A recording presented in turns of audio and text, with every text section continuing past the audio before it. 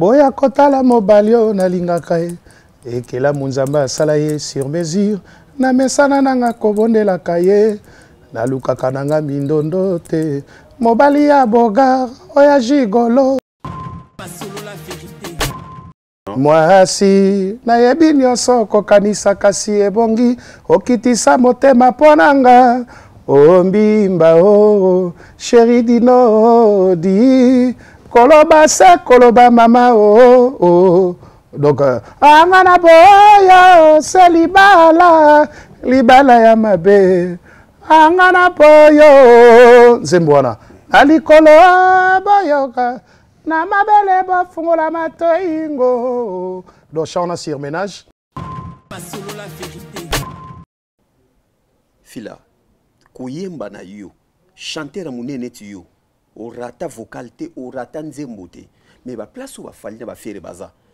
fila na temps normal yo faut zala wana mais on a biso déjà na biso temps normal ya on a lobi ke ba massa babandi ba carrière ba vie ba pesa bango ba vie na bango ba kandi batindika ki bango wana ba ouais batindika parce que ngala ngala retard na ngeza laki au oh, king kesse fala sala na ngala sala inga mo na déjà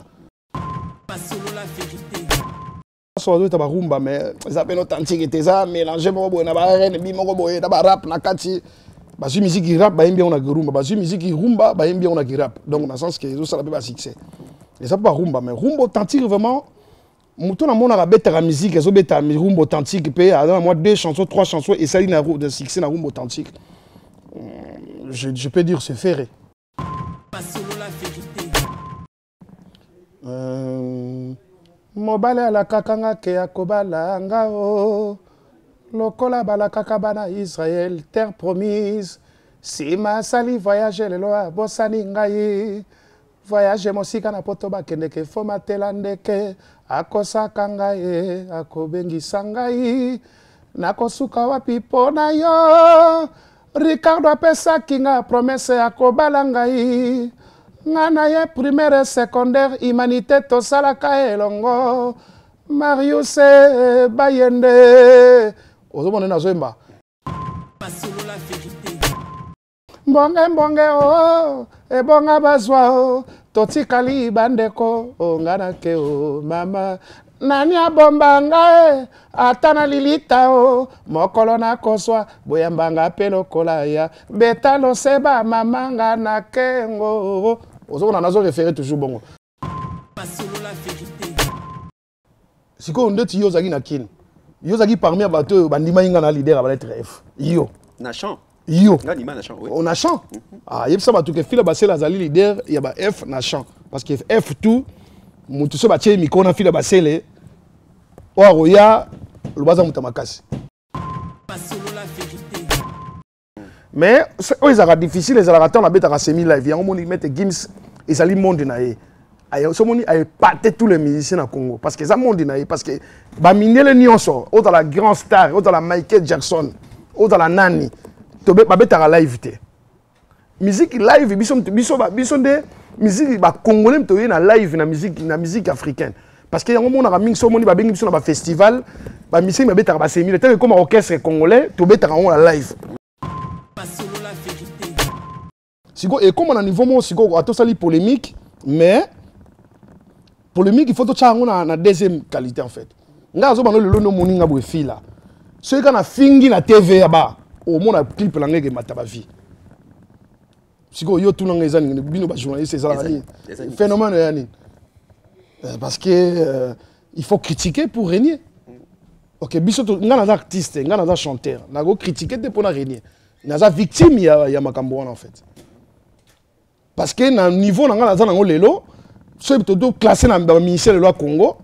na génération na ngai totanga bavie ya kala bavie na biso te bagrand prêtre te mais na génération na ngai nayebi te chantere moko bokotia na qualité na ngai mais ntango bondosala badiscussion ya bapolémique baotanga meme nkombo fila basele te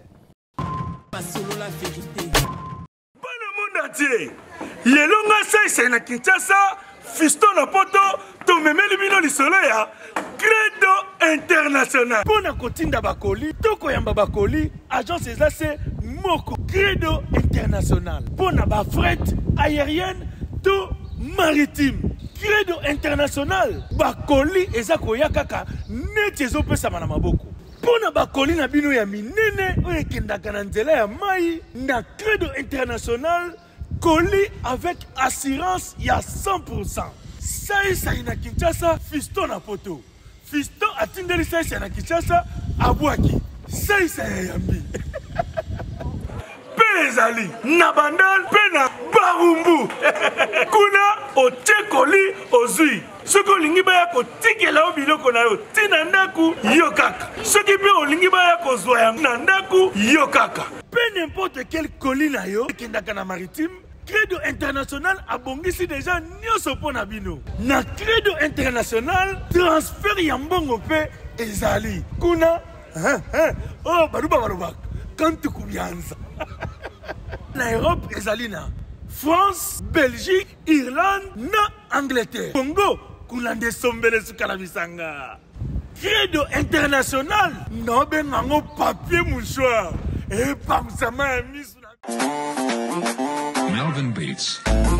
bandeko ya congo bandeko ya turki mpo na bakoli na bino na batransfert d'argent cmd multiservice sombele suka na bisanga baluki serte na butu bakoki te babimi na moi na masola lokuta ata kutu bazalaka na mposa bare yango ata kutu bazalaka na mposa ya miom ata kutu bazalaka na mposa lingundu fo basela oyo kozwa koli moko bakata oyo yango nani akufeli ndeko oyo ayaki kozwa koli aza te mopepe nano basilisi kolota te ntango na baagence na bango bakokanga nde bakotimbela na cmd na récupéré colis na nga euti turquie balobi awa nde masolo so boyebi mosala te otika keto ngai yo na cmd na colis na nga mobimba nga aza na nga commerçante biloko na nga eutaka turquie ça cmd en tout cas maatro ah. libanda eza te bozala na confiance ya sir bana kin cmd multi service nakotaki mobimba nabimi mpe nakoli na nga mobimba bakosa bino te bonjour bonsoir partout bozola na biso grâce ya 3 fois w solo la vérité euh, awa toza na kati déjà ya plateau ya solo la vérité na kati ya ya greco place totournaka émission oyo alors na pokwa lelo toza na plaisir ya monene ya koyamba invité na biso nakopesa grand merci na kumase na gunesco oyo baza kote technique oyo bakobongisela biso euh, émission ya lelo alors na plateau na ngai selon demande na bino bosengaki nayamba fila basele fila basele azali latisa musicien oyo azalaki epa kinkestere mene ya kinkestere mene atika biso ye mpe asala shema na ye asala nzela na ye lokola alingaka trop tele mingi te azalaka trop tele mingi te trop boulot lelo masali biso plaisir na plusieurs fois ya bainvitation ya, ya willy sionga na bapartenaire mosusu Fila Basele aza na kati ya plateau na biso. Fila Basele, bonjour et bienvenue na plateau ya Greco. Bonjour David Mombele et puis merci à Kipa Sola Vérité et puis à mon ami R. Kelly Koumasse mm -hmm. et puis na cameraman na biso na pesa équipe nyonso mbote vraiment professionnalisme na bino. Mm -hmm. David Mombele, merci, bonjour. Bon, bonne santé. Ouais, santé très bien. Santé très bien. Santé qui bien. Ouais, qui bien. Fila Basele, biso bato topesi yo merci na chaîne oyo parce que oye tomeka kosolola moke sur carrière na yo début na yo na lelo ya Fila Basele. Alors boni mosala ya miziki na yo? Ouais, musique ozo kende toujours très bien, très très bien et puis euh, naza na wuti ko bimisa clip langa ya sika. Mobali ya Bogar. Mobali ya Bogar ezali esre ya Marcy Single ya bimiselaki bino ya La Kumba Musique. Non, bandi déjà euh, euh nasalaki déjà clip à générique mais là sikoyo nabandi vraiment kosala sikoyo baclip ya bachanson yaa nabengi bato tu bokende na sur youtube bokomona clip ya sika mobali ya bogar et puis vraiment c'est une belle chanson et puis nasengi mpena bato bosabone bosabone na chaîne na ngai ya sika fila basele officiel parce que fil euh, ya liboso chaîne ya liboso ezalaki pirate là vraiment nasengi vena bato ebele bino tu boya vraiment bosabone bosabone na, na chaîne euh, nouvelle chaîne na ngai fil ya basele officiel fila basele ntango olobaki obimisi mobali ya boga clip moko kitoko oyo tozomona bato nyonso bazosabone mpe bazotala yango mobali ya boga olingaki oloba si nini Boma boga bato balandi yango ezali na yembeli ba mibala mibala ba gigolo mibalo ba balingaka basi basi baki ba okipe na bango à 100%. Euh, vraiment bazali ba bamilingaka mingi donc euh, kote nazoyemba boya kotala mobali oyo nalingaka ye ekelamu nzambe asala ye sur mesure namesana na nga kobondelaka ye nalukaka na nga mindondo te mobali ya bogar oya gigolo ya bebe charisme eh, donc ça dit euh, donc euh, nakumisi na ebandeli et puis à la fin eza nazopesa conseil na bandeko na biso basi ndenge nini bakozala na bamibali so omoni mobali no moko boye aza aza lokola gigolo yango tobenga yango bamobali ya bogare mibali to bagigolo mikolo komba moko ekomi bamibali ya bogare kumba miziki eza nini kumba miziki la kumba musique ezali la kumba musique ezali euh, kombo wana eza tiré par trois langues soki te la ezali article eza na français kumba ezali na, na, na monoko na biso ya congolais na kikongo parce que rumba euti na nkombo kumba parce que ntango bakoko na biso mindele babe bobeta miziki nde biso tobeta kumba mais mundele akomaki yango na rumba ezali no moko impose en fait par, par bacolon mais noma ezalaka kumba ezalaka rumba te donc yango tokoki kochange yango mpe lisusu te hmm. mais normalement ezalaka kumba te ezalaka kumba kumba musique ezalaka kumba kumba ah ouais? après sikoyo so otali nakomi yango kumba music music nakomi yango na musique natie se na, na à la fin donc en anglais mm. donc nde bakomaka musique en anglais music mm. donc ezali la kumba music donc la ezali français kumba ezali euh, kikongo music eza anglais eza kumba nasangisi nango napesi euh, kumba musique ebi bato mingi balatisi yango ekomi lokola style na ngai mm. eh, donc la kumba music soki oyoki miziki na ngai eza lokola nabetaka kimokolo kimokolo c'est-à-dire kilelo na kikala na mélange yango ekomaka soko kimokolo donc soki ozoka miziki na ngai oyoka miziki na ngai eza différent na bamasa babetaka eza mpe différent na ndenge ya kala na ndenge ya kilelo eh, donc kimokolo style na ngai nabengaka yango en fait Voilà, mm -hmm. Fila Basele, lelo oyo ntango biso totalaka yo na bato oyo bandeko baobotama lelo batiste musicien na bandeko mosusu bafanatike oyo batalaka yo fila basele nani apesa yo gout ya miziki nga moto apesa nga gout ya miziki na koloba ezali um, soki na bino akosa te ezali bana wenge ntango babimaka Bana wenge tango babimaki mais mutu apesanga goût ezali bana wenge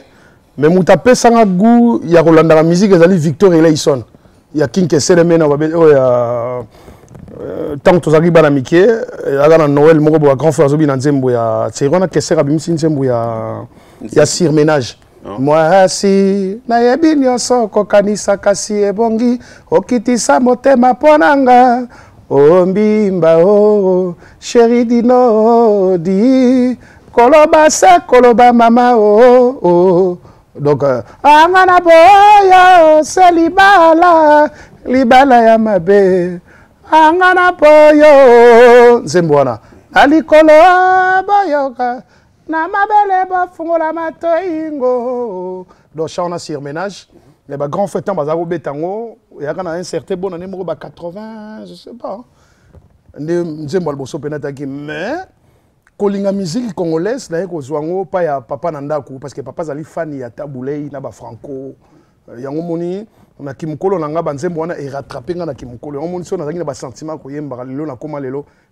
parmi ba grands musiciens interprètes ya, ya la rumba congolaise donc nakoma parmi donc ezali eya liye na écoute ya papa parce que père azalaki koécoute bah, écoute, il écoute parce qu'il est encore vivant donc euh, il écoute trop des taboulés des franco des bela bela banegro succès bon miziki tu ya kala mikolo bagrand kale naye koyeba naye bango na histoire déjà mpo na papa Ah, yango mona akoli mpe nango nalingi yango donc lelo mpe nakomi parmi bato oyo bazo représente yango vraiment valablement mm. voilà bokutana na kester wapi king kester emene yanga nakutana ne na nakutana ne naza deya na victoria na sens wana ah ouais? Euh, ouais, nga nakota victoria king kester azalaki na poto ntango aye bapresente ete misia sika yo fila basel fila epuis euh, na bandeli oyemba nde amona ngai nayemba sur deux fois bit euh, voilà donc nakutani wana bacritère nini keser abanda kozwa bato na époque wana poza bacritère keser azwaka bamusicien eza kaka koyemba totalaka vraiment mingi te parce que euh, bon, moni eza différence na bamusike ya lelo parce que musike ya lelo bato mingi baza komona critère mpo baza babogar mpo babinaka bien biso koyemba e non beauté na koyemba eyaka ezalaka deuxième na troisième option parce que victoire soki nano oyembi te oyembi mabe bakoleka no na tape akobina te bakoleka no mpe na tape ya, ya kibogar te hein? na sens wana toloba donc fo oyemba nano sikoyo na génération na yo wana na époque wana kester azali na poto kester aire azongi mm. okoti victoire eleison mm. sikoyo yo vision no pourquoi ezalaki epai ya kester par rapport ya wingi pourquoi bateste euh, maison non vision na ngai ezalaki vision na ngai ezalaki na rêve na ngai na revaka lokola nazali tenoriste eh. ngai idole na ngai ya mamba koyemba ezali tabuleki na papa wemba na debaba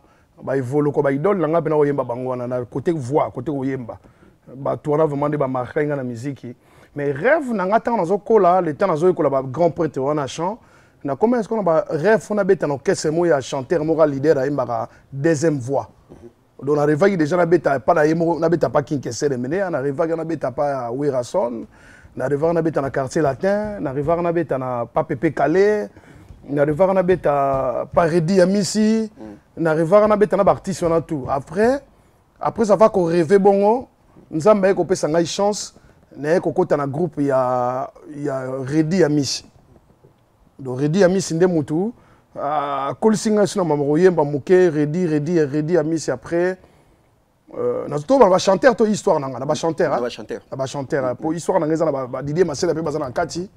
fondé du fondé Didier Masela azali ma chanteur te hmm. parce que mm, ngai euh, pour na bando yemba pena kitoko vraiment baza sepelaka na bandai na ngona pas Didier Masela ah ouais euh, non non na bandai na bandai pas ready hmm. après tangu wenge maison mère Didier Masela na wera bakabwani mm.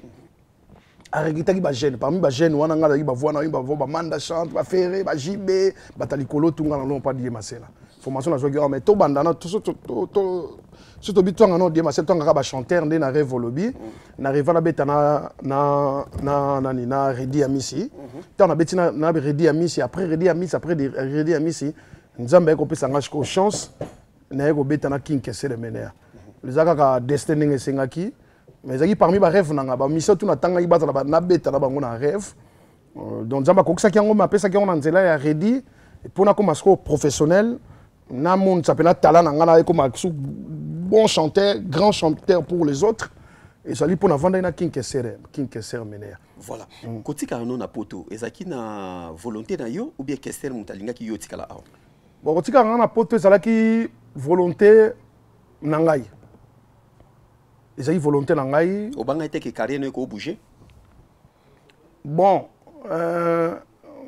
bon epoque oyo ngai nazalaka wana déjà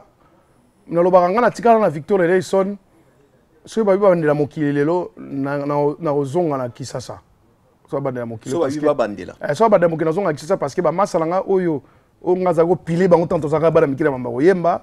lelo bakoma bastar parce que bazongaka na bokese na non bazongaka na bokese na bango yango moni bakoma bavedete me nga kese namemaka nga natikaka na poto nazwaka mwa retard nazwaki mwa nazwi mpena nazwi mpena mwa retard par rapport à carrière en solo na nga carrière professionnelle vraiment na na nazo vivre bien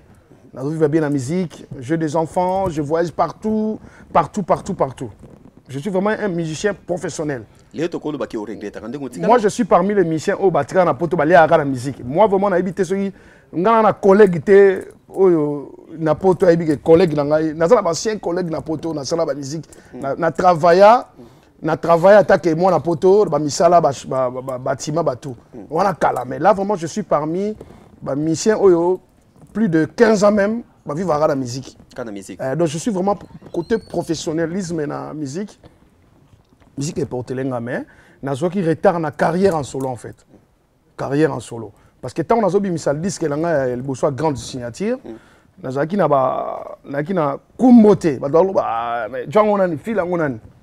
mais ntango nabimisi disque nakomobunda ngai moko nsolo nsolo nsolo nazwi retard na disque ide na ngai elekaki navandisa kombo fila basele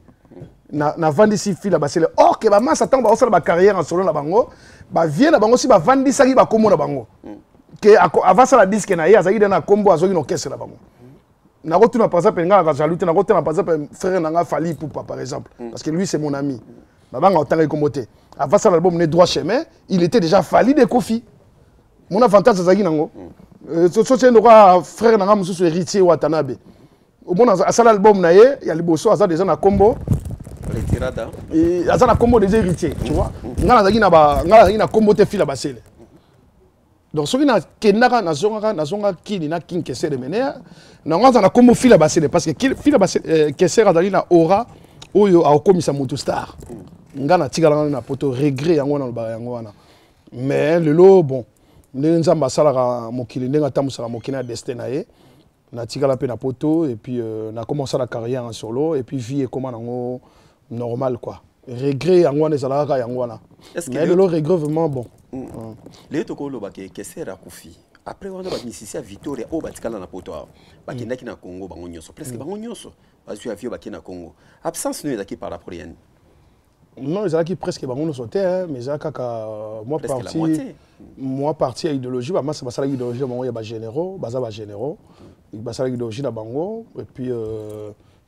euh, concert moko baorganisaki concert na kin bakei mpo na honneur ya kin keser menea loin de près na soutenaki idée na bango et puis voilà quoi dans son soirée qui idée na bango privé mais et etombolaki lokumu ya king keser amenea donc eza baide moko biso tu fo tozalaka nao tolanda exemple ya bamasa basalaki donc euh, nga nasi nasala yango gout déjà mpo nga nakenda naloba bato nga na keser ntango akufi je suis le seul musicien de victor eleison oyo amata na avion akenda na de ya kester je suis le seul donc membre te bureau te à part famille na ye euh, ngai nakenda nango déjà epuis nabeta concert Fila Basele chante euh, Kester na Kinshasa, époque wana, day, en plein day même. Donc, on a parmi la mission, balelaki Kester na Oyembo, na, na pesaki bonheur na ye. Exemple wana, bamasa basali yango mpe ya ndenge mosusu donc bato bayaka kaka kosepesaka toujours baexemple bapesaka toujours baevenema mpona king tolongo epai ya kester na victoire election relation nio garda na joli mobiala Vieux Jomi Mbiala relation eza kaka vie na biso, hein, vie na nga ya Victor Eloison. Hein. Et puis euh, famille wana déjà nga naza pire petit vena pire relation pena ya makasi nga za na famille wana ezalaka ya José Mobiala. José Mobiala pena wana vie na ngai na pesi mbote José Mobiala mobali ya Nicole Bopeso. Euh, donc oui vraiment aza parmi bato ba défenda ngai na Victor Eloison poto ya poto.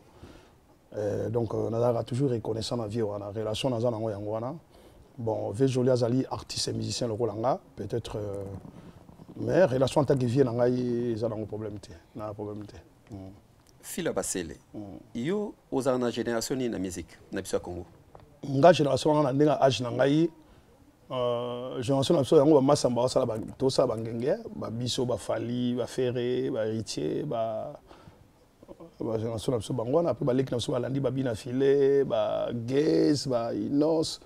bafabrigas baleplique tu vois mais nga génération ezali génération nanga ezali bafali bafere bamasa voilà bapapi kakol batutu wana donc voilà sikoyo ntango otalaka fali fere otala fali fere mpo na nga na kimoto nalongoli vraimen kifanatique natie vraimen nazwi mpo ya journaliste natie ya côté Fila, koyemba na yo, chanteur ya monene neti yo, orata vocal te, orata nzembo te. Mais ba place oyo ba Fally na ba Ferre baza, Fila na temps normal yo faut ozala wana. Mais na on a biso déjà na biso temps normal ya on a lobi ke ba massa babandi ba carrière ba vie ba pesa bango ba vie na bango. Ba bakandi ba tindika ki bango wana. Ba ouais ba tindika parce que nga nga retard na nga ezalaki au oh, King Kessé fala sala na nga nga na sala nga mona déjà. nasalaki nga moko ntango nazosala yango euh, bato bazoviva na ignorance mpe bazali oyo oh, susu nani oyo oh, bato ti lelo batalaka nga na soni mpe bazali ke atali kaka fila basela yango ah, ye nani ye nani susu ye nani susu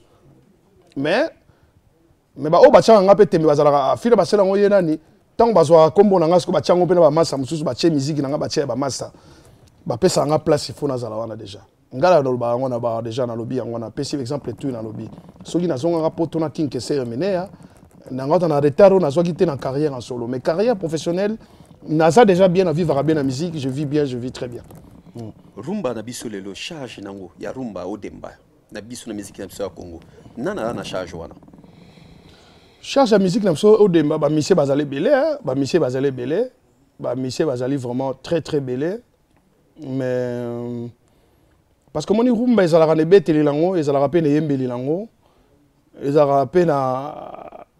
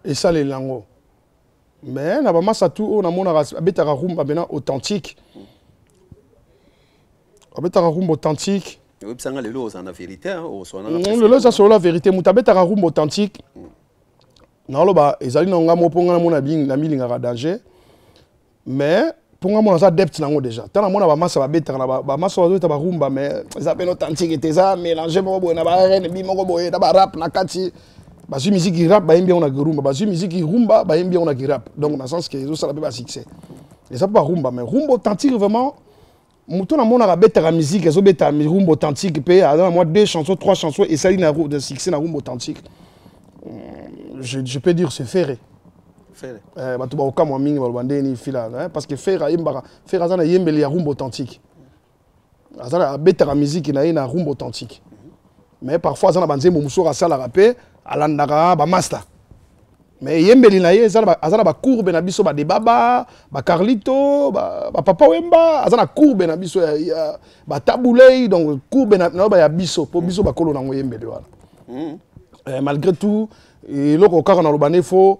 ah, rumba bastyle eza vraiment ebele eza kaka style te ke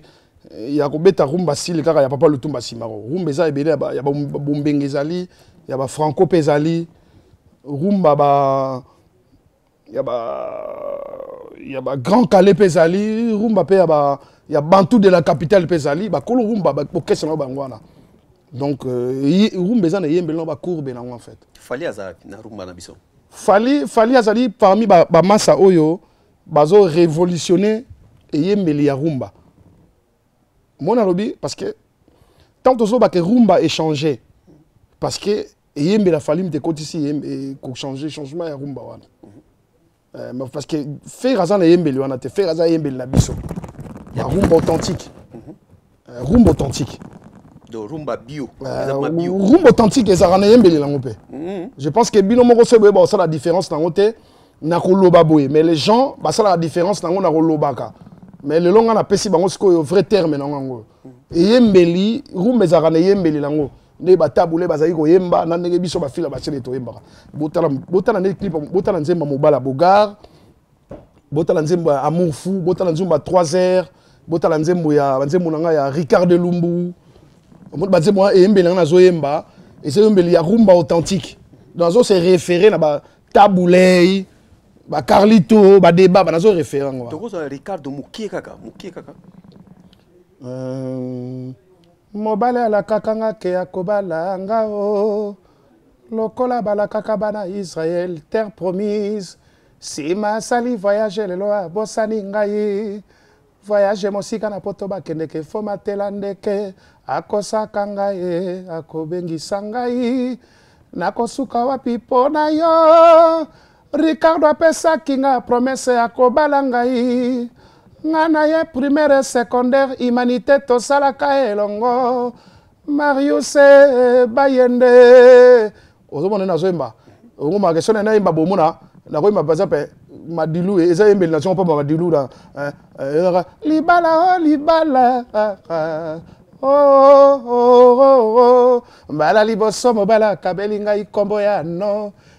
nasusumuki nga nakomi juste o oh, mama ee eh, ee eh, eh. omoni naza na même courbe en fait donc sens tozoloba yango wana so otye nzembo lokola nzembo mosusu nayembaka nini beza mpenza nzembo lokola nzembo lokola 3 heures nazo référé na na vie lokola bavie lokola bivoloko monganga yeyeyeye oro monganga bikisanga monganga nga yaya pasia nayoki mokosa ye ya ya bolingo bikisanga omoni donc science toloba omona eh, evoloka aza awa aza na eh, eh, aza na mm, mbonge mbonge o oh, ebonga bazwa o oh, totikali bandeko o oh, ngai nake o mama nani abomba nga e ata na lilita o mokolo nakoswa boyamba nga mpe lokola ya beta loseba mama nga na kengo ozokona nazo référé toujours bongo soki na nzembo lokola nzembo lokola botoke molai pamba hmm. baexplication na opesa deya nzembo lokola batabulei ba bandeko botala maze na lineti ye nga nayembi nga nayembi ya nazoyemba nayemba euh, nzembo nini nakosala banzembo eza ebele nga nazoyemba ezo référé na bavie eza yembeli nango courbe nango mais soko soko otali otali otali soko otali apart eyembeli oyo eyembeli mosusu eza te na rumba soki moni eyembeli eza différent na yango seke eza baoyo bamasa baye nango eko impose lelo génération ezokola nango lelo mais fila basele eyembeli ya boye oza nango mais départ wana départ na napoli ezo accroche te vraiment baplace oyo nazoloba départ ezo accroche te na monde na yo ozoloba monde na yo ya, ya kifanatisme monde na yo ya musique ekomi politise musique ekomi lokola ekomi lokola mavita imana en fait oza no moto ya imana euh, ata bopoli okotikalaka imanie donc ok musique ezalaki kala ezalaki euh, musique ezalaki mpena okao euh, zaiko contre viva la musique botyaka minoko bobetana sta babeti bino sikoyo sale moko bobeti bobeti eh. omona soki bopoli babi te bino bopoli bafanatike mpena ya zaiko balongi na mwa zaiko akomi ya victoire eleson donc musique ezalaka bongo musique lelo ekomi biso tobandi bacarrière en solo na musique tokuti toza bavictime ya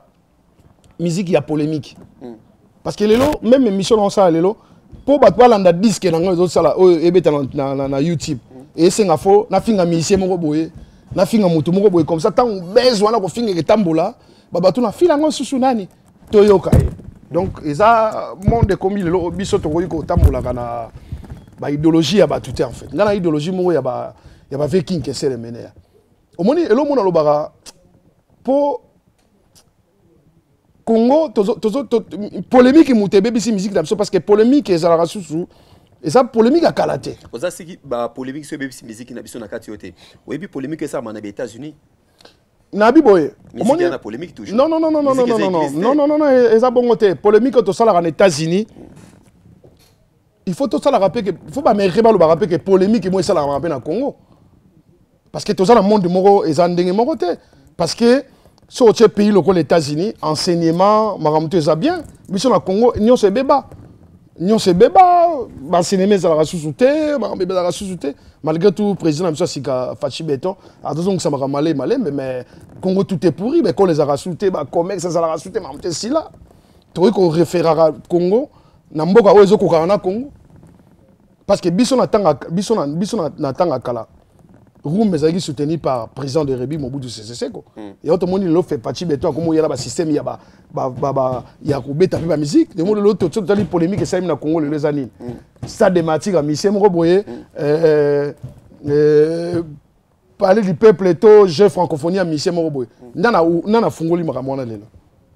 mokonzi ya mboka ben oui c'est ça parce que tozokende malemi malemi sikoyo ekóma na niveau moko sikoyo atosali polémique mais polémique il faut totya yango na, na deuxième qualité en fait ngai azobanda lelo nde omoni ngai boye fila soki kaka nafingi na tv ya ba omona clip na ngai ekemata bavie sikoyo yo tuna ngai eza nini bino bajournaliste ezalaka nini phénomène ya nini euh, parce que euh, il faut critiquer pour régner ok biso nga naza artiste nga naza chanteur nako critiquer te mpona régner naza victime ya, ya makambo wana en fait parce que na niveau na nga naza nango lelo soki toto classe na baministère lelo ya congo na génération na nga totanga bavie ya kala bavie na biso te bagrand prêtre te mais na génération na nga nayebi te chantere moko bokotia na qualité na nga mais ntango bondosala badiscussion ya bapolémique baotanga meme nkombo fila basele te parce que fila basele na polemique azalaka te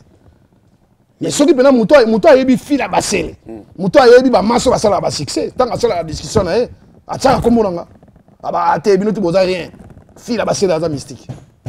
mpo ayebi qualité na nga eza tozoloba yango oyo c'est pas que mutu fo alekaka na tv afingaka asalaka polémique mpo asala succès yango biso toza bavictime ya biso babon chanteur toza bavictime nango en fait toza bavictime ya polémique na musique mpo asala succès yango omoni même le faux chanteur non pas faux chanteur excuse nga faux chanteur azalaka te mais de, de, de musicien bakomi osala succès koleka baartiste parce que un artiste afingaka te un artiste aza chanteur alors quand il chante congolais lokola na congo makambo te ebeba tokóma na langage de la rue bana batanga bakotaka so chigi te tokóma vive biso tu na balabala en fait alors moto abalabala fo ayoka fo ya na kibalabala alors yango omoni polémique ya lelo ekota na kibalabala parce que polémique na biso ya kala ya bafranco ezalaki toza komona yango vie franco abimisi nzembo moko boye abeti nzembo moko boye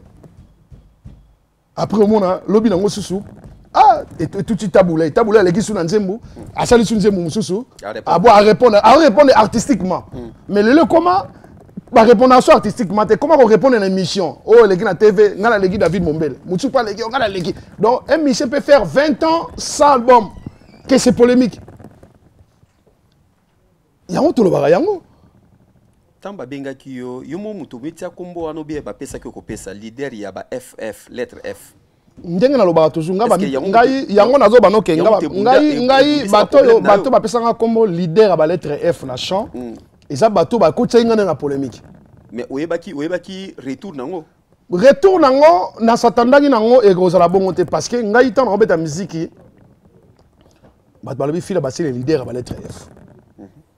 ntango ngai naye na misiki lokola nazalaka moto bacalme na bi te ngai bokobenga nde baetre f te parce que nkombo wana eluka polémique parce que bamatiaki leader wana ntango mosusu bato bawata biso na bandako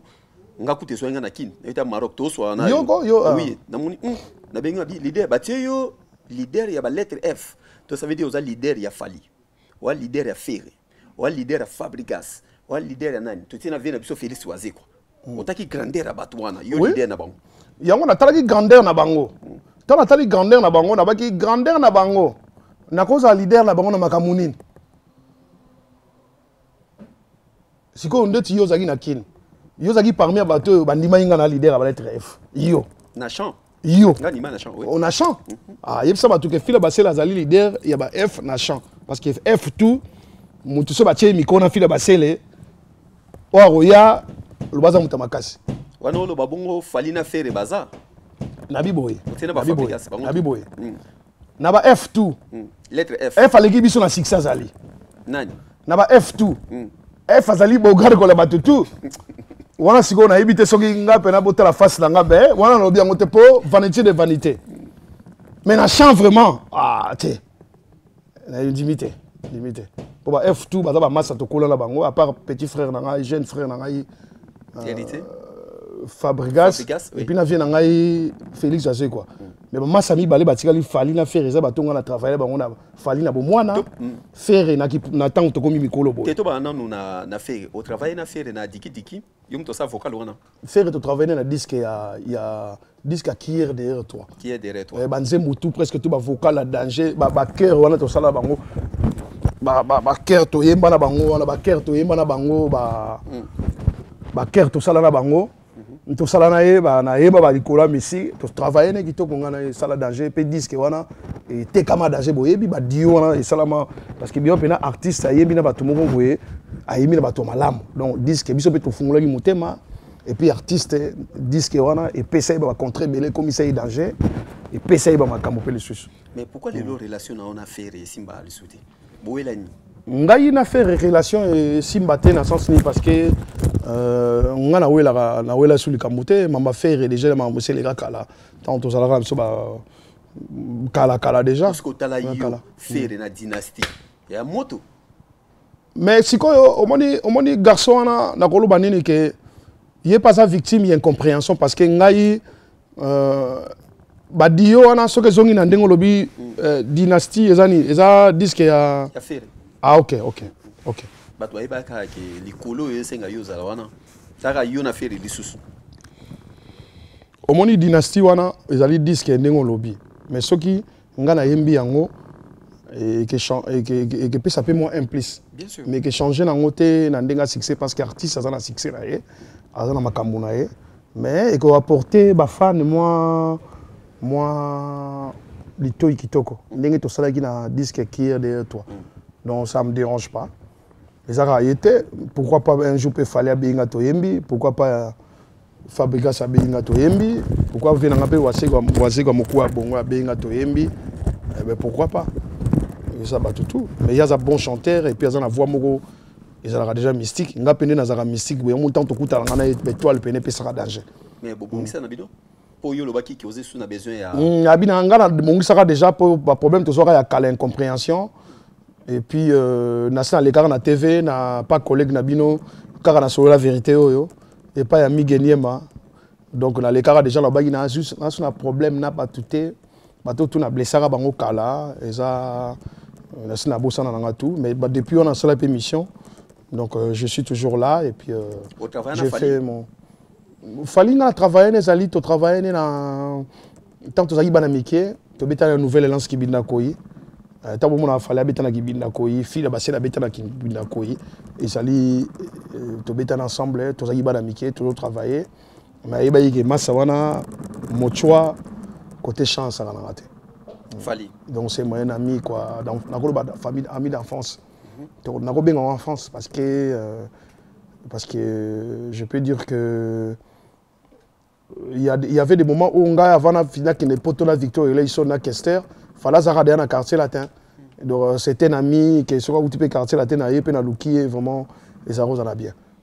donc nga avant nanga problème na bato ebele na bato te quoi bato alinga bayeba relation nini ozalaka nango na héritier watanabe héritier relation ya biso mbale euh, ezali ya ya bafrère parce que nde nalobi na yo nouvelle alliance kibindako na bi tobeta na bafali tobeta mpe na héritier ah, wata mpe azalaki yango moni e, e, e, natala émission moko boye héritier wata alobi ke bafali bafila baselemu bapesanga micro na bandoyemba parce que l'époque il était notre jeune frère mais Ah, biso motu to to topesa ye mwa chance moke ndenge alobaka ye moko na tv ke biso topesa ye micro wana tozobeta biso na bafali bamasi bazalaki ebele ebele presque misusu bakombo babima te mai tozobetaka mibale babima wana déjà fila basele eske musique ezalaka mpe na chance chance que faut appeler na étoile wana oza mpe na makila wana eya vers yo bon eloko tout ezalaka chance hein? na domaine tout ezalaka chance hein? na domaine tout domaine tout ezalaka facteur chance kisi ya na musique diable ela kisi ezali na musique ouais, diable ela kisi ezali so musicien osala musique sans kisi musicien wana Mpo na ye azo comprendre nini? Michel azosala musique sans kiss. Sans kiss, eh oui. Aomona baninga baza likolo, mais ye azo garder ka position abi nga na osimba te, nga na osimba te. Awa reveni. Euh, eza vision na ye, eza ndenge na ye, eza croyance na ye, eza ndenge alingi ezala. Eza nango ndenge elingi ezala. parce que eloko mpe tolobaka boye euh, chance ya, ya, ya nzambe congolais abosana na yango congolais abosanani chance ya nzambe étoile ya nzambe congolais abosana na yango bongo chance ya nzambe na miziki euh, oyo bino bosala ya rumba ya mokili mais miziki ya mokili miziki ya mokili c'est quoi miziki ya mokili nakomaka terme wana te miziki ya mokili oyo bino boobeta te te wana ekoba te musique ya mokili eza nzambe eza reconi na nzambe musique ya mokili ezalaka te musique populaire eza musique reconi na nzambe bokende na ba bokende na ba na bokende na ba bokende na ba oyo oh, nini somme te na na ba na ba cantique hein ba verset na kopesa ngo verset oyo ozomona ke est ce que bike na bible euh, bayembela mwasi mm. oh, mais ozo bateki na bible bayembela mwasi bayembela mokili na bible euh, bon excuse nga vraiment mpona na domaine wana te bato bapriaka bato bana makasi yako so tana bapsaume to na ba psaume ya david ah, bapsaume de david omona yango place moko david azoyembela mwasi azoyembela mpe mokili Ah ouais. Ah bah oui, parce que tant, tant, tant, tant tolobaka ke roi Saoul, roi Saoul azalaki soki soki euh, milimo mabe me babengi David. Babengi David ayemba po milimo. Yo kasi banze moni aza koyemba. Parce que époque David azalaki star euh, époque wana. Mm. Soki azoyemba roi David, roi Saoul milimo mbezo bima. Est-ce que abayi ezalaki pona ko ya ko glorifier kaka Nzambe non. Et là, tu as la différence, c'est la musique à Mokili. na musique ya nzambe ezalaka nango kaka ndenge nyonso na congo ekoma polémique nyonso basalaka polémique bato oyo babetaka musique musique moko tolobaka musique euh,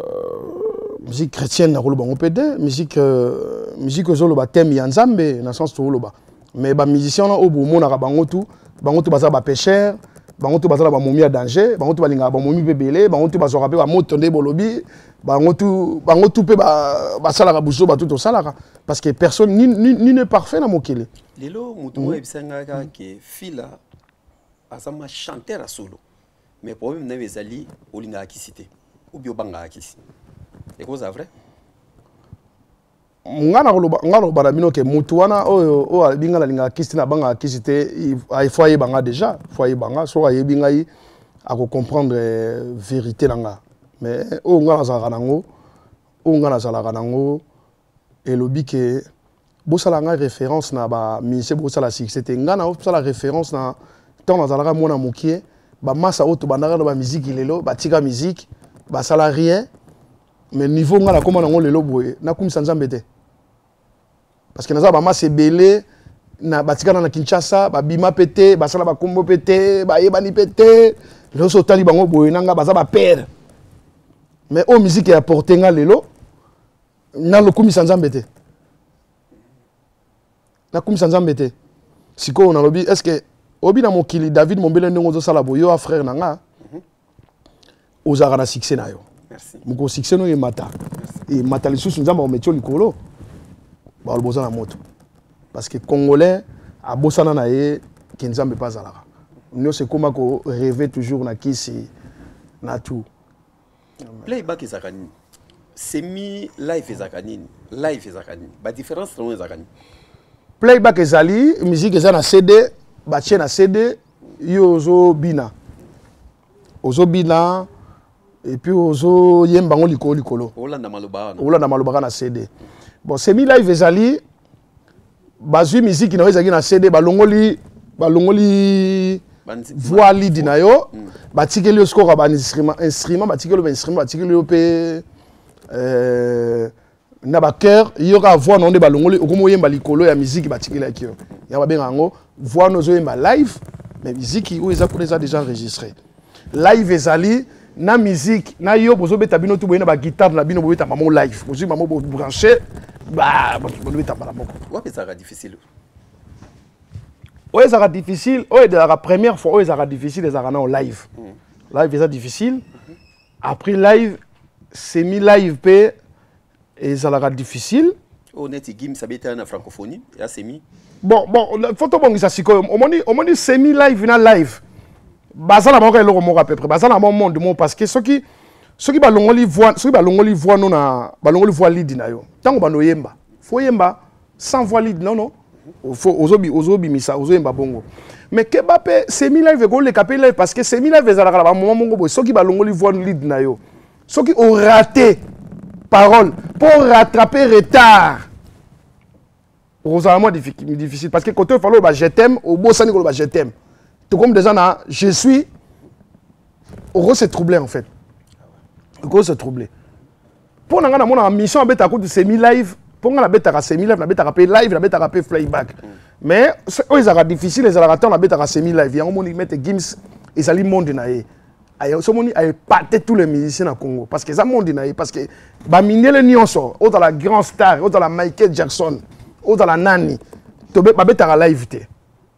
musique live biso biso ba biso nde musique ba congolais mto na live na musique na musique africaine parce que yango monaka mingi so moni ba bengi biso na ba festival ba musique ba betaka ba semile tellement comme orchestre congolais to betaka ngo na live parce que biso toza bikolo na ngo na ba na ba ba, ba haïtiens